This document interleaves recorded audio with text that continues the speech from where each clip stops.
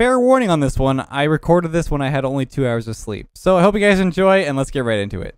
Alright guys, welcome back to the Road to SSL series in 3v3. Today is episode number 7, and for today we're going to become Lethamyr. So thank you so much to Arcade Assassin for the recommendation. But I hope you guys enjoyed the video yesterday. If you didn't check it out, it's The Hive. It's a brand new map that me and Mr. Swaggles collaborated together to finish. It was a lot of fun, and you should definitely check it out if you haven't already. But now it's time to make Lethamyr, so let's see how it goes. Alright, so I searched up man holding mirror, and honestly, none of these photos really work that well, except for the first one. So it looks like we're going to grab this one, even though it's kind of tiny, and hopefully it doesn't look too pixelated. Alright, now it's time to get a photo of me. So I got to put myself right here. I don't know if I need to mess with myself too much here.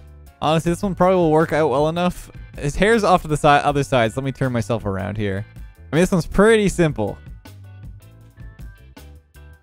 Alright, so my, my head probably shouldn't be peeking out of the mirror here, huh? So let me just erase that real quick. I mean, I guess that's what you wanted. Um, I don't know what to do with the side of his face. It's kind of kind of hard to like get that perspective. So you know what? It's gonna have to do.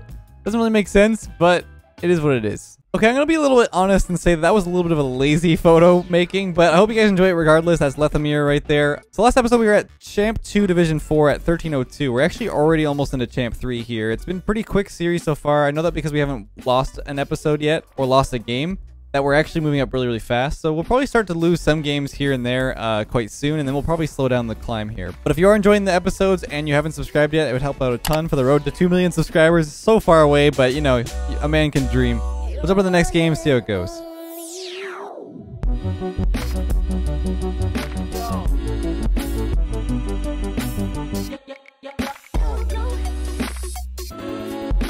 Alright, so for the first game, we've got Gabo and Kronos Mayhem and Bryceism versus me, uh, X Trangor, and Nick. I'm a little bit worried about my name for this one because it's pretty close to my actual name that I feel like people might actually catch on. Um, so far, the bad kickoff there just means I need to go back to the back corner. I could probably still that, stolen that boost too, but my teammate should have probably grabbed that. Okay, so I, right here I can wait. Once again, see where I'm waiting. Um, it's not like too close to the opponents because they can make a clear of my head. So I want to make sure that I position in a spot. It's pretty solid. I want to cover that midfield too once they bounce off. Right here, I'm just kind of, uh, you know, once again, taking the, the back roll. Trying to wait for the clears. I ended up missing. This could be a goal for them too. I ended up missing as well. Should have been a goal though. There we go. Make a good save. Wait for Bryceism here. To our right. Good. If that goal went in, it definitely would have been my fault. But uh, we're, you know, recording pretty late here. Good position by Nick. Good play. Take a shot towards target see what happens. Great save. Just trying to give some pressure. Once again, just trying to wait for the next opportunity. So let's see what happens to Kronos here. He's going to pop the ball away. Now I can go on this. Teammate might want to take it, though. Not the greatest touch, because ends up just giving it right back to the opponents. So I'll get behind and be the next player. Wait for Gabo to make it clear. I went up, so that's fine for Bryceism here. Oh, I tried off that corner clear as well.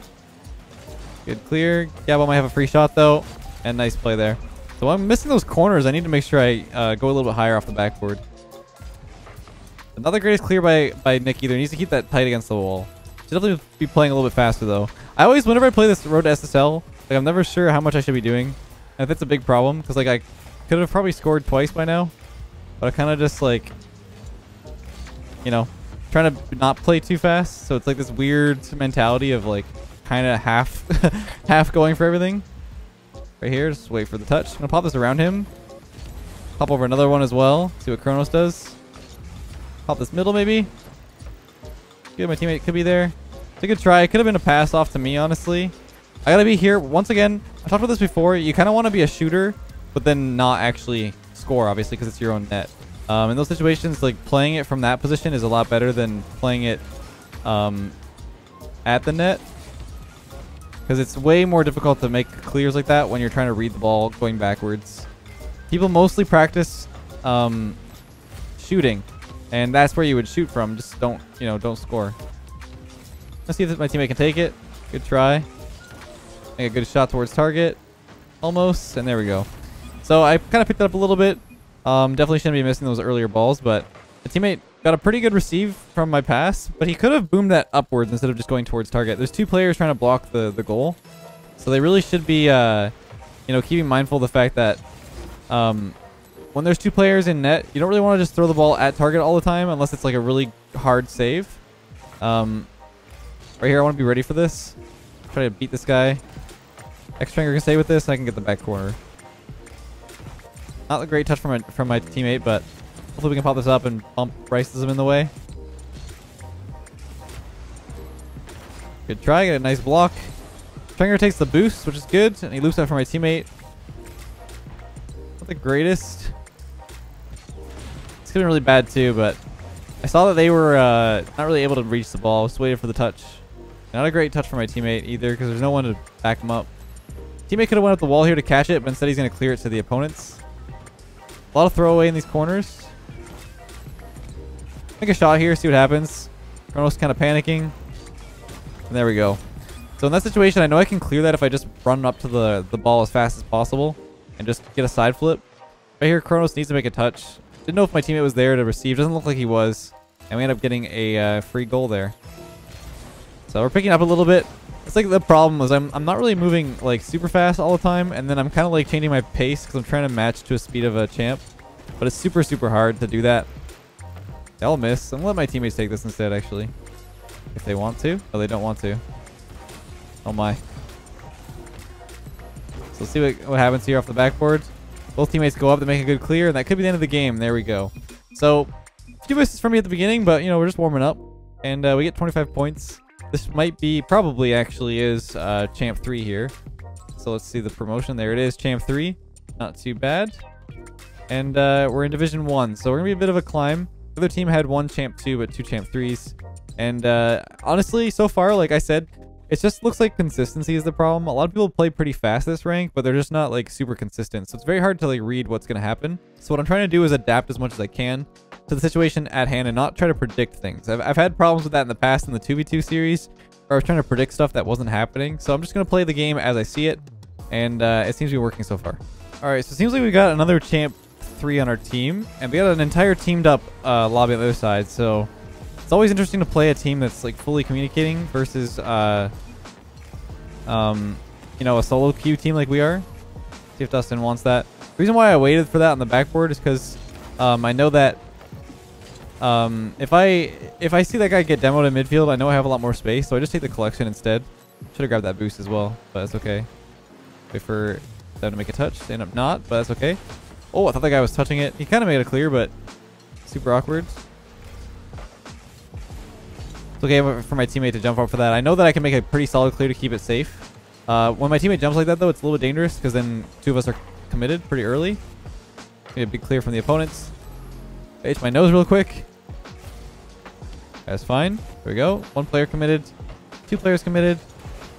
Okay, that's fine. As long as my teammate follows it up, which he does. I know I have a little bit of space here. Let him touch it. That's fine. There we go. that works. Abdul does. Gonna stay with this. They're not really going, but I can probably pop it over both of them because they're not really challenging fast enough. So right there, I try to make a catch. Keep the ball close to me. And then I can pop it up and stay close uh, on this touch. I was trying not to... Uh, I was trying not to uh, get a bad 50-50. There's a good chance that if he challenges like that... Um, wait a minute. I think he knows.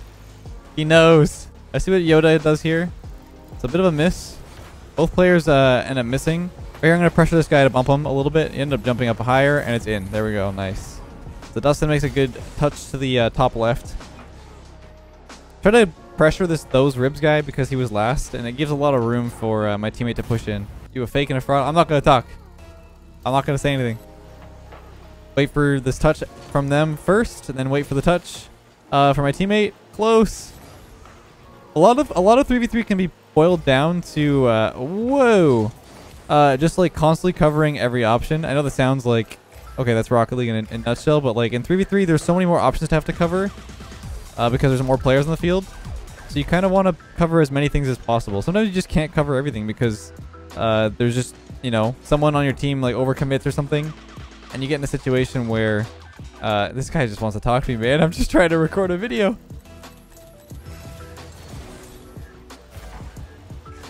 I don't want to reveal myself. He can he can uh, he can continue to think it's maybe fake. Okay, a bit of a miss from that one guy. Um, I think that skimmed off me. Whoa! What a touch. Might bounce out perfectly. Pop it off the backboard. Once again, just trying to play the ball around the opponents. Get patience. Gonna wait for Melodiak to make a touch. Pop up the sidewall. Should be my teammate to collect. Decent touch, but ends up going to the opponents. Actually, they didn't. They waited, so that's a free goal. They really should have probably been on that ball. The second that Abdul throws the ball faster than him, uh, Yoda should know to turn on this because it's too far away for him to be able to catch up fast enough. Unless the ball bounces, which it did, and then they get a he gets a free possession. Um, when the ball bounces, it loses a lot of speed uh, because of the friction. I don't know. The ball the ball has a weird like weird properties that people don't know about, like the fact that the spin actually affects how the ball bounces. Oh boy. Good try. Decent touch. I'll try to follow this up immediately. Let's pop it forward. With that miss, this could be good for us. I'm going to jump out for this. Okay, never mind. My teammate's going. I'm going to try and re readjust, though, and make a shot towards target at least. I'm not going for this ball. I'm just trying to fake him so he goes for a clear. And I'll take the boost. Decent touch. I'm always constantly monitoring whether or not I should be turning in on, on any of those balls, too. Like, when they spill in. Like, I might look like I'm always going just straight back.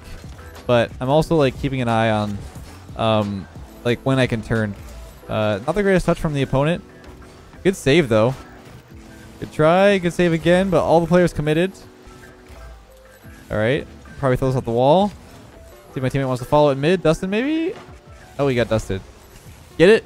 Ha! The demo. Not the greatest position to be demoing because then this might be a shot still. Try to keep it up if I can. Oh, what a 50-50. Nice. And Abdul's not moving. All right, decent second game. Not too bad. I hope I'm trying. I'm hope I'm doing a good job of like explaining things. Uh, this Abdul guy really wants to party with me and talk to me. I'm trying to record, man. I'm trying to do my best to help everybody. Um, yeah, I'm trying to do a really good job of like explaining my thought process through these. Um, do I join this guy? And last time I joined with somebody, they betrayed me. I don't know if I, I am getting PTSD from that. I'm gonna solo the last one though. Sorry, dude. I don't want to party with one, one for one game. We'll, we'll, we'll jump into the last one solo because I think uh, the last time I joined with somebody, they betrayed me absolutely so hard that it's ruined it for everybody else. All right, so we're already halfway up 1300. It's moving along pretty quickly here. We got Tossin and Godlike on my team, and Jay, Lorangatang, and Agent Frog. Agent Frog, not Ancient. Wait, Godlike just left the ball there. That's a, bit, a little bit strange. Should have definitely been like keeping his momentum and he probably could have made a good challenge. Good 50-50. Bad clear from the opponents. I'll slot this. Maybe not in the net. okay, now it's in the net. I'm trying to slot that top left. It's pretty free ball after Lorangatang made a bad clear like that. Snipe the top left. It just bounced off both posts. Just a perfect pass, honestly. You know, it's late. Give me a break. Two stays with it. I don't really want to follow this because probably going to be 50-50 in mid, which is exactly what happens. Now we can wait for this touch and throw it towards the backboard. We're getting into higher level here. where We're almost in uh, Grand Champ 1. So we're expecting to see a lot more consistency, a lot more patience, a lot better decision making. Got a flip reset here. Oh, I didn't get it, but that's okay though. I mean, that kind of worked out. Try to make sure Jay doesn't get his boost. Trying to jump early so I don't get bumped. He ended up jumping off the wall to try and bump me, but I'll bump both the both the opponents now. Oh. Okay. You gotta brake check me. I'll jump up for this so that way they don't get a touch. I'm gonna throw a back corner. That way Tossin gets a free possession. Okay, as I said free, he kind of missed, but it's okay. Uh, this is a mess in the corner. I don't really want to get involved in this. My teammates could do a better job of getting in the way and, and doing the same thing I would do, but in a position where it's not as dangerous. I'll pinch it across. Wait for Lorangatang and Jay in the corner. Took one of my teammates out of the game. Waiting behind. Okay, I'm not sure what Jay was doing on the back back there. Let's make a touch to the side. Could have Godlike to stay with this. Good try. There we go. Just trying to stay with the ball, trying to make good touches. If Tossin beats him here, it could be good. There we go. So that situation where he pops it up and there's the last player committed. Um, like right here, Lorangatang didn't really get the, the fast challenge. I know that all I have to do is just focus on my redirect. There's nothing I need to worry about. There's no one rushing me. I don't need to play fast. I can just go into my, my mindset of playing those training packs and getting really accurate shots. And uh, that's what we did. yeah, we'll move on. I don't know what I'm talking about anymore. I'm super tired. I haven't been this tired for recording in a long time, but my editor does need this because he's taking a break. I think he's got a wedding to go to. But I, I can barely keep my eyes open right now, so I apologize if it's not as good quality of, of gameplay as usual. But, you know, daily uploads daily uploads. Gotta make sure I keep the episodes going. Waiting for Jay's clear here. It's a decent touch, but I think the situation... Oh, that's not good. Let my teammate touch it. He's got a better clear. If I touch that, it could be a pop-up towards... Um, pop up towards an opponent. So instead I let him uh, take the clear off of the corner. I'm waiting for his touch once again, playing this midline defense. I've talked about this in the last couple episodes. The midline defense is super important. My teammate take it. He wasn't really sure if he wants to take it. That was a little bit awkward.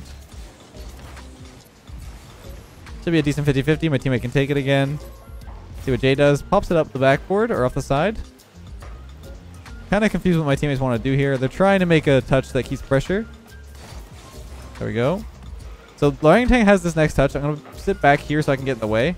See how I pushed back a little bit to wait for that clear in case he did it? If in that situation, because of me going back, what Orangutan should do instead, if he has the mechanics, is to uh, take a soft touch and then uh, play that position instead. Gotta be a little bit careful. Both my teammates went for that backboard touch. So I wanted to cover that before they got uh, uh, more pressure. There we go. Pretty free goal there. They end up popping off the uh, the back corner as the last man on defense. Orangutan once again as third man, not making the best clears. I'm not even sure what that touch was. His car kind of like flipped upside down. But uh, in that situation, need to make sure that you uh, you cover uh, the corner in a way that it doesn't pop out back into mid for the opponents to clear again. Uh, so what he could have done there is probably made a softer touch so it's not as hard. Or the other thing he could have done is hit the curve instead like this, how it pops up nice and soft. Alright, so this is like 35 seconds left here. And that wasn't the greatest flip reset, but we did get it.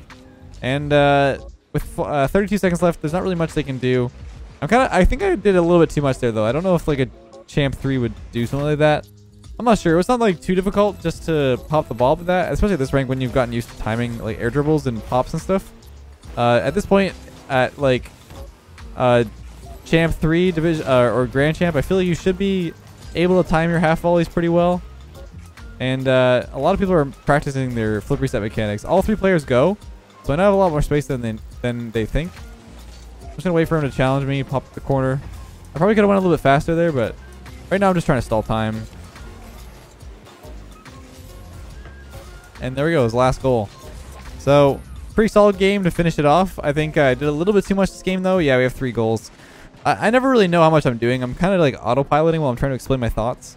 And I, I think that's like still valuable, but I just feel bad for this rank because they're trying their best, but I don't know. I don't know what to say.